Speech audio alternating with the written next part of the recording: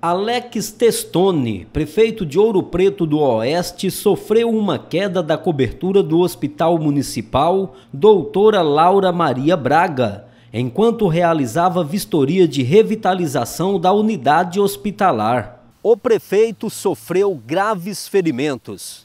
Bateu a cabeça sobre o piso, fraturou o rosto e machucou um olho. A altura que o prefeito caiu é de aproximadamente 4 metros.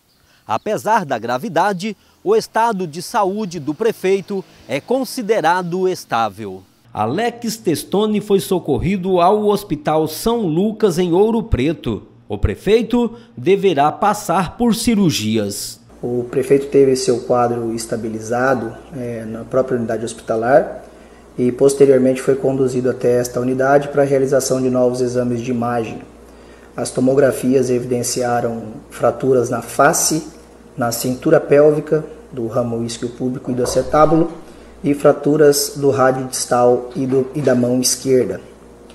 É, o prefeito está estável no momento, não foi necessário nenhuma cirurgia de urgência, porém permanecerá em observação da equipe clínica, ortopédica e da neurocirurgia e no decorrer dessa semana será programado o tratamento cirúrgico para as fraturas do punho, da mão e da face.